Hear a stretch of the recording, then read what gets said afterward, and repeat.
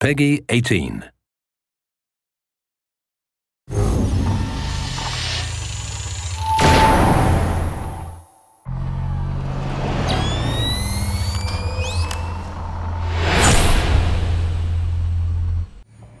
Hey, I'm Zach we're Cooper, your Splinter off with the Cell community developer. I'm joined, uh, amongst other people, by Jeff Eleanor, level design director on Spies versus Mercs. Uh, Jeff, we are playing Spies versus Mercs Blacklist, and uh, what that is exactly is four versus four. We know that much. Can you maybe give us some details as to how this differs from the Spies versus Mercs Classic, which we've uh, previously shown off?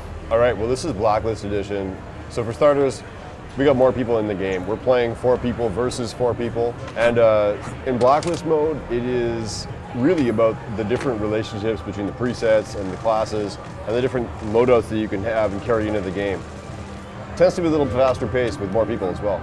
All right, so, So, now how does it work exactly in terms of the, the general approach to spies versus mercs? I mean, you know, we've got spies in third person perspective, we've got mercs in first person, but what does that exactly mean for the player experience? obviously they're very very different so as a as a mercenary you're searching the environment well i'm going to die here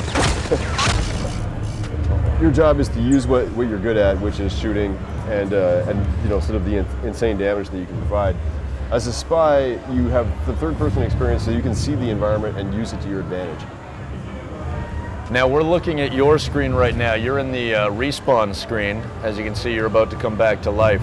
i'm Um, coming back in to oh. try to keep my buddy the hacker alive and uh, yeah, and that, that would be me. over. I, uh, I just I just bit the dust. you failed me zach So, what is your preset loadout? Who have you chosen, and, and what's that all about? Right now, I'm playing as the Predator, which means I have the ability to temporarily cloak and become invisible, which is useful because I want these guys to not see me as I move way over here. But now you're not obviously completely invisible when you're uh, when you've got your digital ghillie suit intact. Um, That's correct. What what are the weaknesses when you do use that? Well, the digital ghillie suit lets me become largely invisible for a short period of time, and also, uh, if enemies have the disruptor power or anything that uh, affects my electrical abilities at all, they'll be able to make me visible. Okay. Now we just saw you just initiated the hack. What are the general philosophies or, or, or good quality strategies that you should stick to when you are specifically the hacker? Uh oh. As the hacker, my, my main thing is I don't want to go near the enemy. uh, Oh, boy. You know, I only want to engage when absolutely necessary, um, and my my role is to stay alive inside the zone. So now when you are on the spies team, you've initiated a hack. So hack. when they spot me, like right there, I'm going to uh, I'm going to try and get out of dodge. Whereas I've EMP'd these. Ah, I, I almost took out both of them. I threw an EMP, which disables all uh, electrical uh, equipment, and uh, then I had the opportunity to try and take them both out, but I was unable to. Right now to, they're uh, up above me. I'm using my uh, using my sonar goggles to kind of know where they are. Uh, there's a third merc coming in, so uh, oh, somebody just saw me.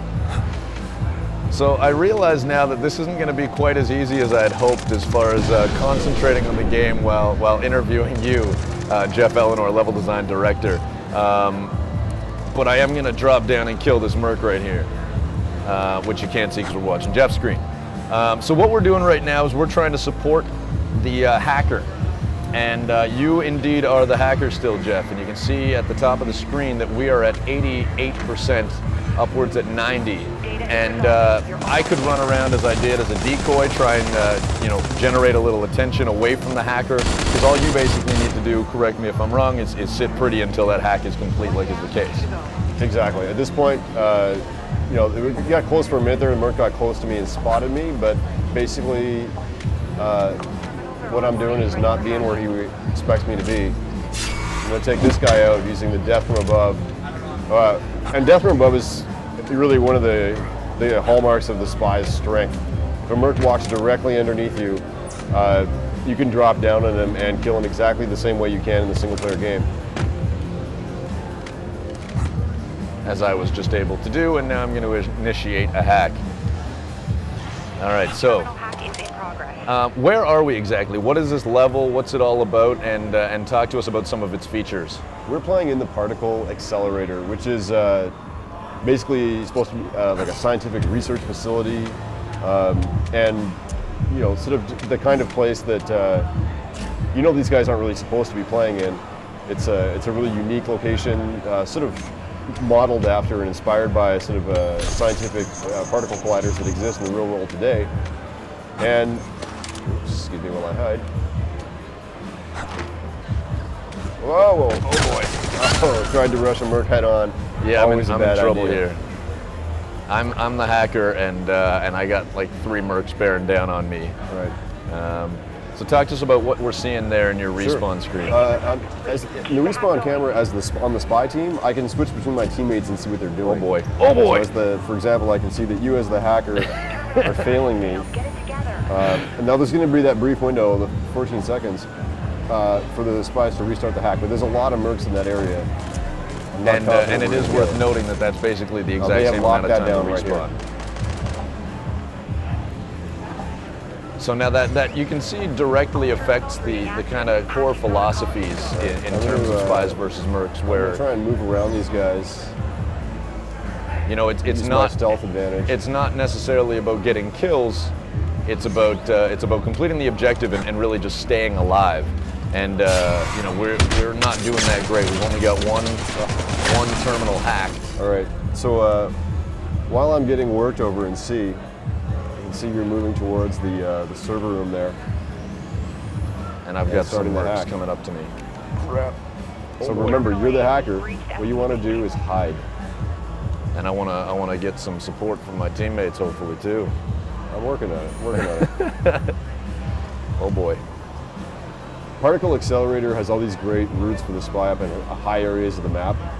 Uh, so the spies can really get around quickly and utilize their advantage, which is climbing and, and, uh, and stealth to be in unexpected places. I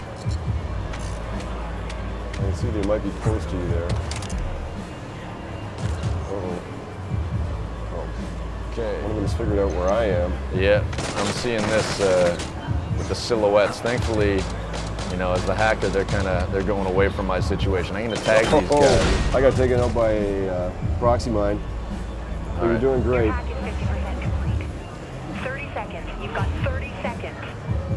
They're bearing down. I'm running out of options.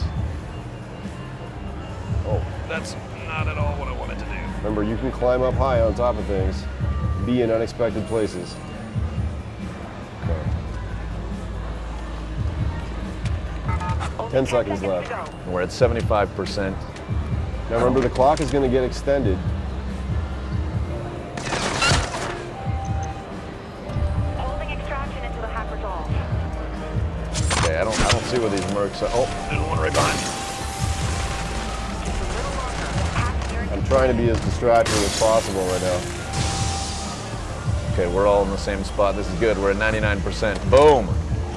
That's round one. All right, so we'll delve into how the gameplay changes in first-person perspective when we take on the role of the Mercs in part two of this Spies vs. Mercs Blacklist feature Absolutely. from San Diego Comic Con.